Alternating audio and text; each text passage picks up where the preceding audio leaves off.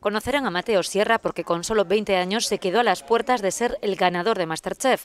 Tras pasar por el programa se ha dedicado a la cocina profesional. Lo hace teniendo siempre muy en cuenta a los intolerantes al gluten.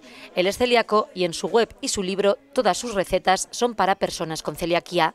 Sobre todo la intención que tenía yo con el libro era eh, bueno, pues el de darle otra visión a la celiaquía, ¿no? de salirnos un poco de lo corriente. La Asociación de Celíacos de Navarra le ha traído a Pamplona en esta masterclass celebrada en Cibicán. Mateo demuestra que con muy pocas variaciones los celíacos no tienen por qué cambiar su dieta. Que la gente sepa que normalmente cocinamos sin gluten, ¿no? Simplemente tenemos que saber en qué momentos tenemos que adaptar ciertas recetas a eso. ¿no? La harina de trigo lo que tiene pues, pues es que para nosotros es, veneno puro, vamos a decirlo así, porque al final es, la realidad. Si quitamos eso, ¿vale? pues nos quedamos con todos los demás ingredientes, entonces lo único que tenemos que hacer es sustituir para ciertas cosas esa harina. ¿no?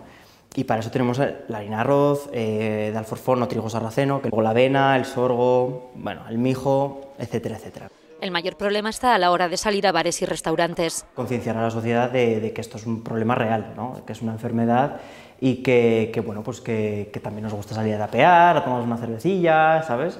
Entonces, bueno, pues un poco ahí es donde, donde vemos ese inconveniente. Y pide más implicación a las empresas alimentarias. Eso que se dice mucho, somos celíacos no millonarios, que no se haga una especulación en torno a los precios, ¿no? que por el hecho de ser sin gluten muchas veces pues lo encarecemos pues porque es lo que hace todo el mundo.